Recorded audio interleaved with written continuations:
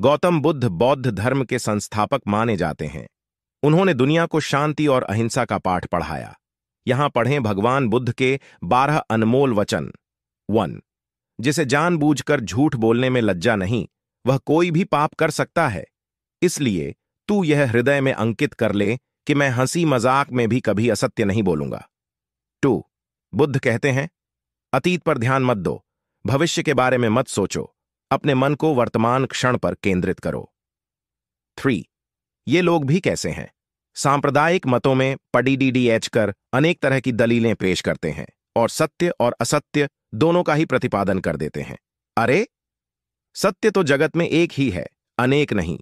Four, Satyavani ही अमृतवाणी है, सत्यवाणी ही सनातन धर्म है। सत्य, सदर्थ और सधर्म पर संतजन सदैव दृढ़ रहते हैं। फाइव, असत्यवादी नरकगामी होते हैं। और वे भी नरक में जाते हैं, जो करके नहीं किया कहते हैं।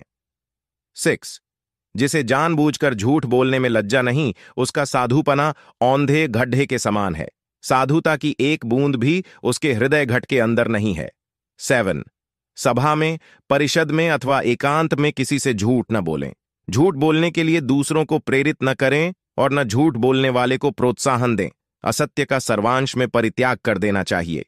एट जीवन में हज़ारों लड्ढइयाँ जीतने से अच्छा है कि तुम स्वयं पर विजय प्राप्त कर लो। फिर जीत हमेशा तुम्हारी होगी, इसे तुमसे कोई नहीं छीन सकता।